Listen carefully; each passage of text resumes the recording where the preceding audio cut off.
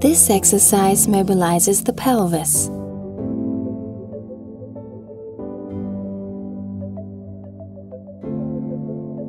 Upright posture.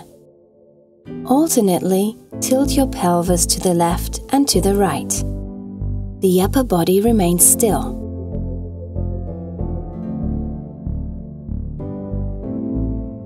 Repeat this exercise for 30 to 60 seconds.